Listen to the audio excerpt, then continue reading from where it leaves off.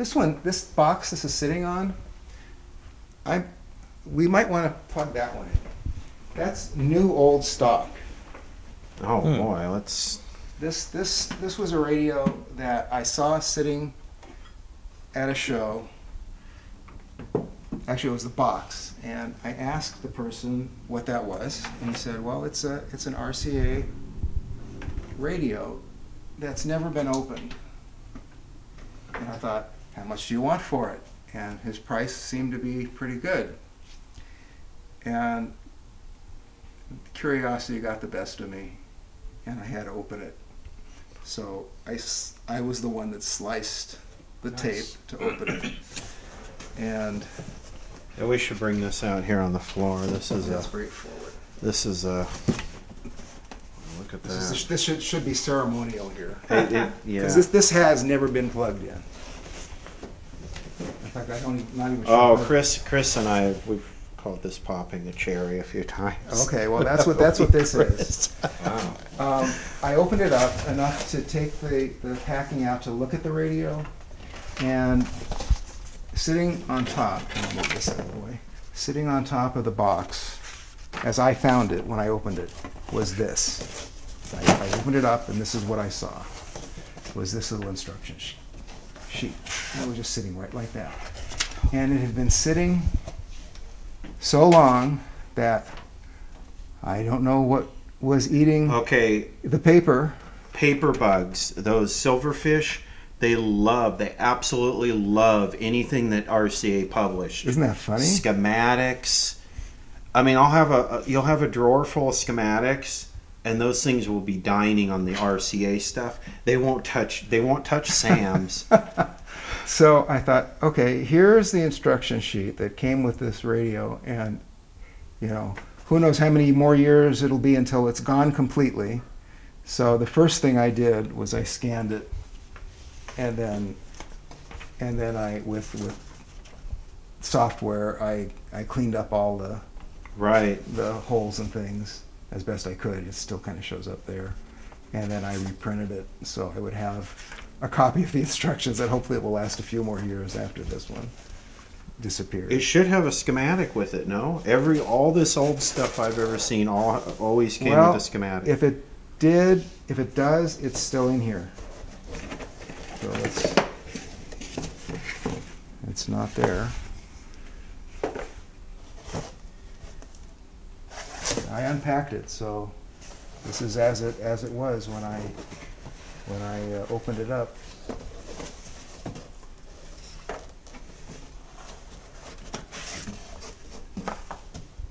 Yeah, that's really a beauty, huh? Brand new in the box. Wow.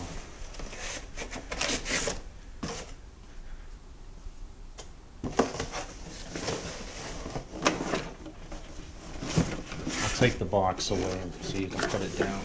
See if there's anything else in that box. Okay. Well, let's just look at the let's look at the back for a second. Look at this. It's not all marred up and scratched and See the, the, the cord is, is starting to, uh, right. deteriorate.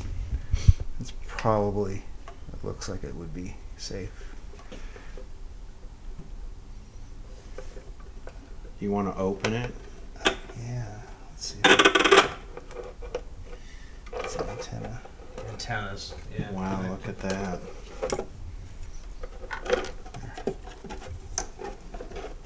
Where is the knob? There's a knob missing here from the side, no? That's a good question. Look in the box, see if there's a knob in there. See what's in this little, there's a little paper bag here. Something's inside it, that might be it. It's a union bag.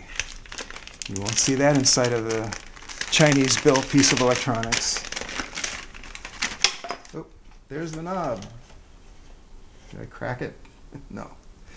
There it is. Let's put the knob on it for the first time.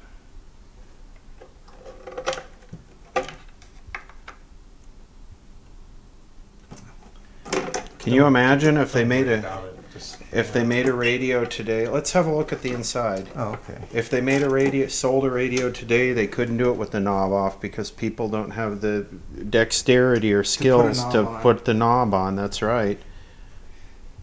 It's very stiff. Yeah, don't don't crack it, David. Let's not. There, it's, it's on enough Okay, to let's look at the back. Okay.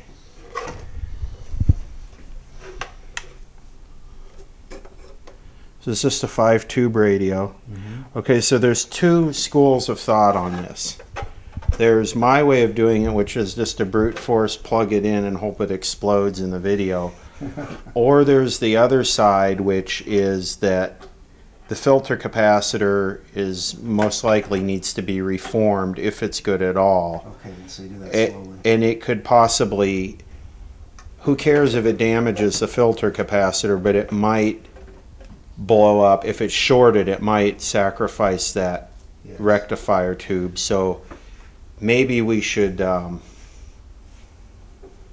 maybe we should not plug it in i'm thinking Yeah. Yes, me too. Yeah. Too nice to, to gamble on something happening. right Yeah, it's never. I mean, this is the dial has never been moved. That's how. That's how it came. Wow. This, this is really a beautiful radio. Yes, that's a museum piece there. So. I think I paid forty bucks for it. So you got It's pretty- great value. it's old enough to where it it's using octal tubes um, it's the same design as something that's using the nine seven pin tubes but can you hold it up and let's let get the bottom of it Sure. just the the label there look at There we that go.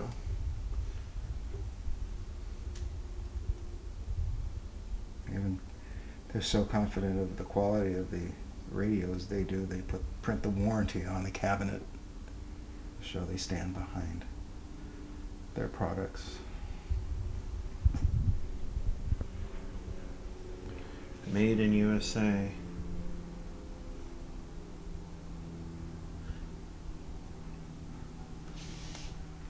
that's really cool Yeah, I like the the copper color behind the dial. Yeah. Now this this definitely might be something I want to restore and get it get it working. Every time I'm moving this power cord, I can feel it cracking.